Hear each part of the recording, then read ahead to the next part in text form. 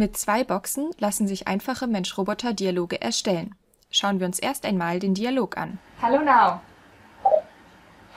Hallo Diana, wie geht es dir? Mir geht es gut. Sehr schön, das freut mich. Genieße deinen Tag noch. Bis bald. Bis bald. Ciao.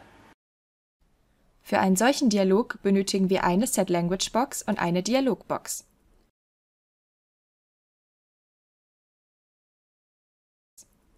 Nachdem wir über die Set-Language-Box Deutsch als Dialogsprache eingestellt haben, können wir mit dem Dialog beginnen. Grundlage dafür ist die Dialogbox. Sie wird direkt auf der Hauptarbeitsfläche erstellt, und zwar in folgenden Schritten.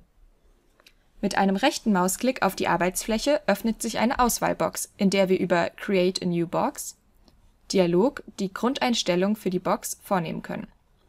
Eine neue Box wird über Add a new topic angelegt.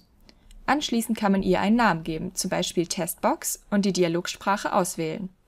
Mit Add, also deutsch hinzufügen, und der Bestätigung über OK befindet sich die Dialogbox anschließend auf dem Bildschirm und ihre Bestandteile als Dateien in der Projektverwaltung.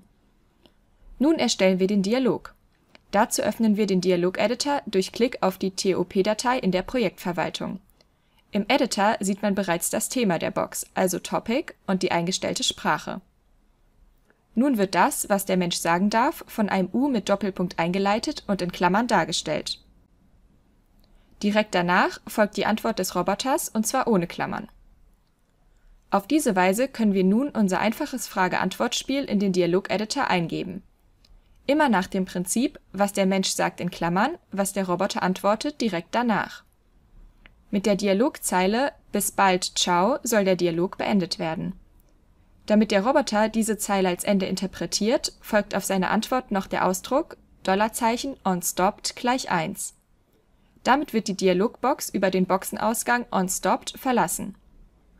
Um die Anwendung fertigzustellen, müssen wir die Boxen noch richtig verbinden den Programmstart mit dem Eingang der Set-Language-Box, dann den OnReady-Ausgang der Set-Language-Box mit dem Start-Input der Dialogbox und zuletzt den OnStopped-Ausgang der Dialogbox mit dem Programmende. Nun können wir den Dialog mit Hilfe der Dialogbox auf dem virtuellen Roboter überprüfen oder auf einem echten Roboter ausführen.